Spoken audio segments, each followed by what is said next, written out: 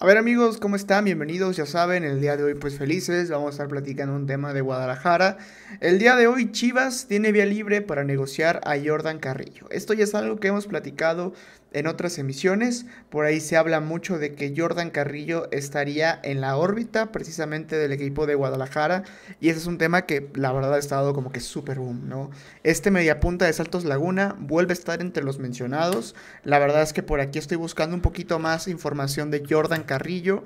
Cómo está el tema del precio, cómo se ha movido el tema de, de Jordan Carrillo, cuánto es lo que cuesta y platicar un poquito más a fondo de la situación que hasta el momento hoy se ha estado moviendo. Bueno, vamos a platicar un poco de esto. Gracias por estar aquí en el canal. Te invito a que dejes un muy buen like y un comentario. Y la verdad es que a nosotros nos ayudaría mucho a llegar a más personas. Vamos a platicar también un poquito eh, del tema, por supuestamente de el técnico. La verdad es que hoy hay muchos rumores en cuanto a esto y creo que también va a ser importante de, de platicarlo. Ahora, vamos a comentar sobre todo el tema de Jordan Carrillo, que es como que lo principal. Así que quédate aquí. Si te gustan las camisetas, te invito a que te lances aquí abajo en la descripción de este video. Porque nuestros amigos de Camisetas Fútbol, la verdad es que tienen unas playeras a un precio súper bueno y accesible. Así que vámonos con esto, que la verdad está siendo súper, súper interesante. Así que, bueno, la situación hoy con Jordan Carrillo, la verdad es que no es menos importante, es un tema súper, súper interesante. Jordan Carrillo es un jugador que ha, ha, tenido experiencia europea, estuvo por ahí en el Sporting de Gijón un tiempo, es un joven que en el equipo de Santos Laguna la verdad es que ha trabajado muy bien. Hoy se habla de que básicamente le restan algunos meses en cuanto al tema de su contrato y que lo más probable es que se habla muchísimo que pues básicamente salga del equipo y se vaya al fútbol de Guadalajara. Se dice que Santos está dispuesto a negociarlo, pero bueno, vamos a hablar un poquito más a detalle de esto. Bien, pues es obvio que Chivas fracasa en el Apertura 2024, no sé si llamarlo fracaso o, o no, pero pues la verdad es que sí tuvo por ahí un tema un poquito complicado en esa situación.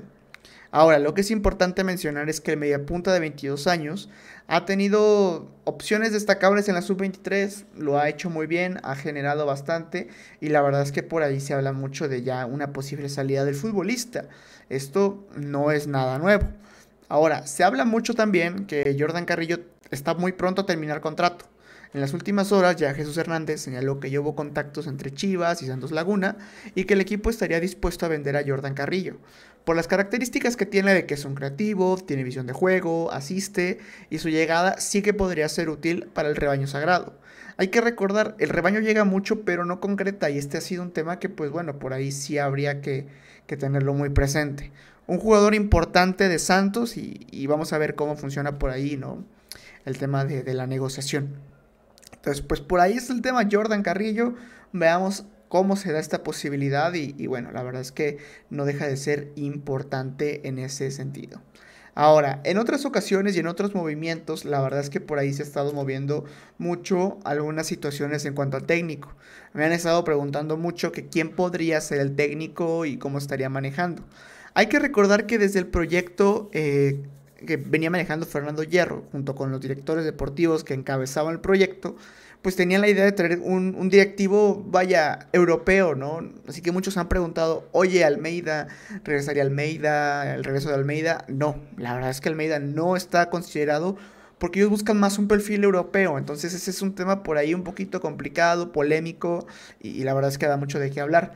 Así que sí, se habla de un perfil europeo, se habla de Oscar García. Yo creo que de él hemos escuchado poco, pero recientemente en una conferencia del día de ayer o hoy cuando lo veas eh, en Champions, a Oscar García Jungent, básicamente él dice que está pronto a regresar a algún, entrenar a algún equipo.